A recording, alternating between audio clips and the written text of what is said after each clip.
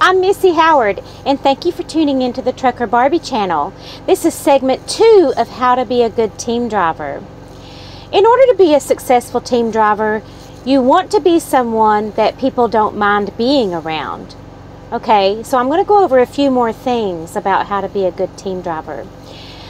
Okay, um, one thing that is really irritating when you are back there trying to sleep is your team driver has the window rolled down and they're cussing and yelling out the window at another driver, a shipper, receiver, something like that. It's really quite unnecessary. What you need to do if you need to cuss someone out or have a discussion with someone that might be loud, you need to get out of the truck. Okay? And when you do that, you want to open the door. All right? And don't slam the door. We've talked about that in the first video, okay? Because your team driver don't want to hear that. They're trying to sleep. You open the door, okay?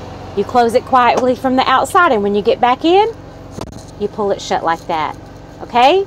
So there's hardly any noise, hardly any motion on the truck or anything when you do it that way. Okay, uh, another thing would be uh, don't be a slob, okay? Uh, don't leave your papers and your trash and your pee bottles laying around. Uh, you know, if you have a pee bottle, tuck it into a cabinet, uh, put it in a bag, something like that. Nobody wants to see your pee. Okay? They really don't. I promise you they don't. Uh, another thing would be um, let's say you're back there sleeping and your shift starts at 2 a.m what you're going to want to do is set your alarm for say 1:30 a.m. or 1 a.m. depending on how long it takes you to get your act together. Okay, like uh, drink your coffee, get dressed, and so on. Your team driver really doesn't want to wake you up, and uh, there might not be enough time on the load for you to take a half an hour to get yourself together. Okay, once your shift starts. So keep these things in mind. Uh, so yeah, set an alarm for yourself. Don't be a slob, and uh, don't be yelling out the window at people. Okay, while your team driver's back there trying to sleep. Another thing you need to learn is you need to be able to work independently. Uh, you don't want to be waking up your team driver for loading and unloading and getting help with this and that.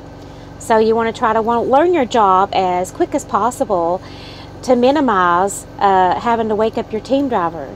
You need to learn to operate the Qualcomm by yourself, um, handle shipping and receiving and loading and unloading and all of that, paperwork, everything. You need to be able to work independently for your entire shift. Another thing is when your shift is just about over, um, you know, let's say you and your team driver agreed to switch at 3 every day.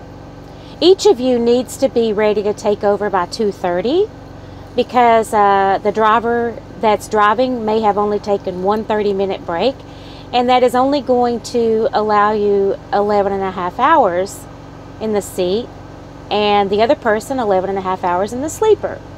So be ready to take over half an hour before you know your shift would start. And um, you know just be considerate. Um, when your team driver is talking on the phone, try not to interrupt them 500 times um, unless it's really important. Um, discuss things with your team driver like, do you want me to wake you up to discuss a load? Okay, most of them are going to say no. I'm going to say no. Uh, what really should be happening is the person who is sleeping should be able to turn their phone completely off, and the person that's driving or on duty or would normally be on duty, okay, during that time, should take all the calls, okay? Unless the person that is sleeping is the first seat driver and they want, okay, they want to be awakened with phone calls, they want to negotiate all the loads. In that case, it's not a problem.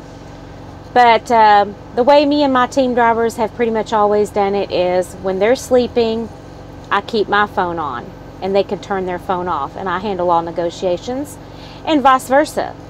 Another thing is, you know, if your team driver negotiates a load and they don't quite get the rate you thought they should have gotten or something like that, you know, don't be all pissy with them about it. You know, uh, they're probably going to learn their lesson, especially if they haven't been uh, expediting very long. Uh, very kindly explain to them, you know, here's how I would have negotiated that load and why. Here's why. And uh, yeah, try to be calm.